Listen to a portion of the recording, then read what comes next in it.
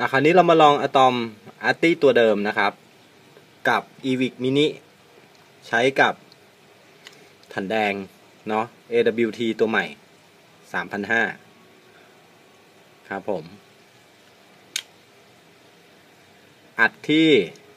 เต็มแม็กเลยครับ 75 วัตต์ 4.15 โวลต์ อะ ไปลองกันดู เมื่อกี้ลองเล่นๆนั่นแหละเมื่อคืนแล้วฐานมันอ่อนๆนะครับ คราวนี้มาลองฐานเต็มๆมั้งเนื้อฐานกี่ขีดเกือบเต็มไป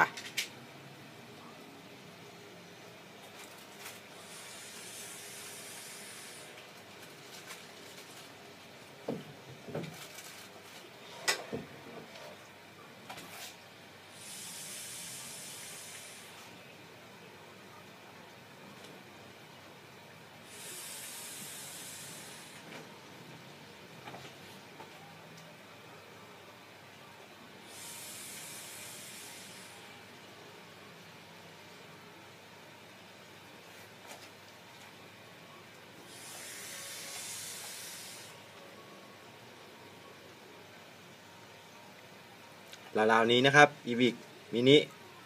เต็มแม็กขอบคุณที่รับชมครับ